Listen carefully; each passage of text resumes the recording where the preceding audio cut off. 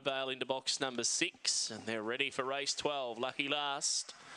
Set to bounce.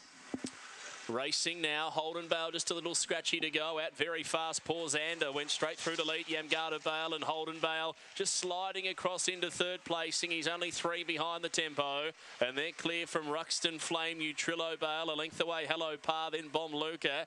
Last Valor Bale down the back. It's Paul Zander leading. Holden Bale went right into the backside of him and clipped over heels. Two lengths away then to Yamgata Bale. It's still Paul Zander. Holden Bale comes back for more. Paul Zander grabbed by Holden Bale got him right when it mattered. Big win that. Holden Bale, last stride by a neck to Zander in a stirring battle. Third Trillo Bale punching through from Bomb Luca. Yamgata Bale got the stitch late from Ruxton Flame, Hello Par and Valor Bale. That was a big win, Holden Bale. He's gone 29.99 as well. That's a real step back in the right direction for a greyhound with some enormous wraps on him. Number seven, Holden Bale, start 18, win number six, and the run of his career.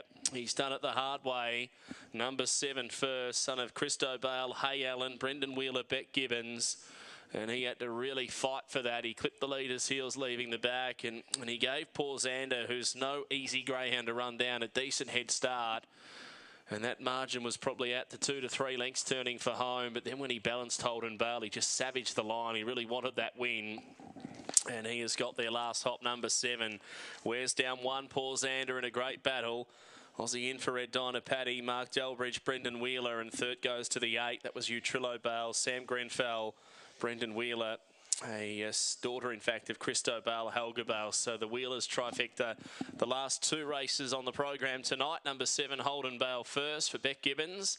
Got out to uh, an each way price at the end, 350.